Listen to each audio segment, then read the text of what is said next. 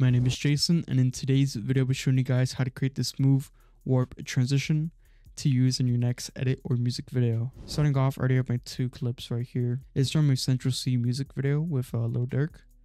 So I'm going to go ahead and add our adjustment layer. And the first thing I'm going to go ahead and add, it's going to be S underscore distort then I'm just going to add it to our adjustment layer and it's going to start distorting our clip right here. Head right here to our blur lens and we're going to bring it all the way up to around 500 to around this area right here. So right here on the first frame, we're going to put our amount on zero. Then we're going to head over here to the middle of both of our clips.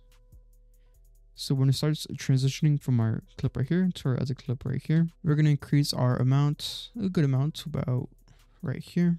And then we're going to head about right here and put it down to zero. And I don't really like how this looks. I might just increase the lens about right here. Gonna easy ease our three keyframes right here. Then I'm actually gonna make our quick graph. So this comes in more fast. So let's see. So I'm actually gonna fix this one. So now we have our actual graph right here. Once after I have something like this, I'm gonna go ahead and close our distort menu. Then I'm gonna go ahead and add optics compensation. And then we're gonna follow the same keyframes we did for our first effect. Click on our FOV time watch to create a first keyframe. Have it at zero on our first keyframe, then head right here.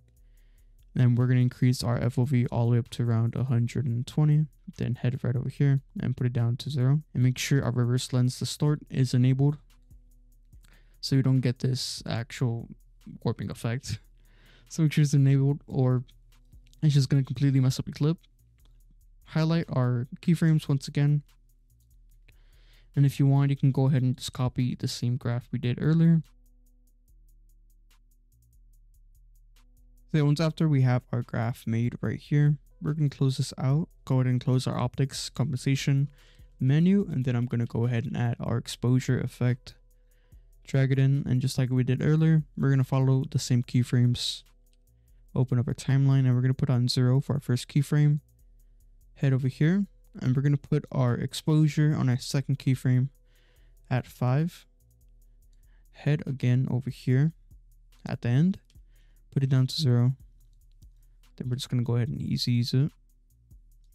Depending if you actually want to uh, use the same uh, graph we did right here on our other two effects you can just as up to preference so once after we add our exposure effect I'm going to go ahead and add our radial blur and it's going to be the last effect to tie it in together so I'm going to put our type on zoom and our quality on high so we get the best results and then we're going to follow the same keyframes we're going to put on zero for our first keyframe then we're going to open up our timeline on our second keyframe we're going to put it all the way up to 35. So about right here and head over here to the end and put on zero.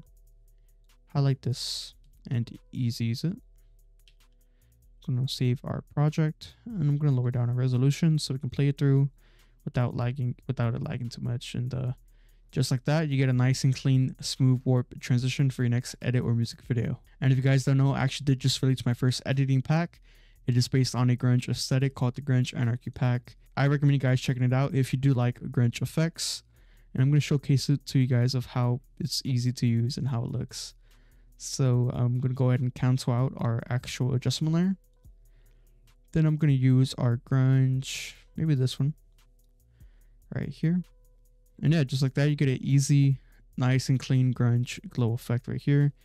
And even looks way better if you tie in the actual warp effect. So we're gonna let that play. And just like that, it looks way cleaner and looks just much better.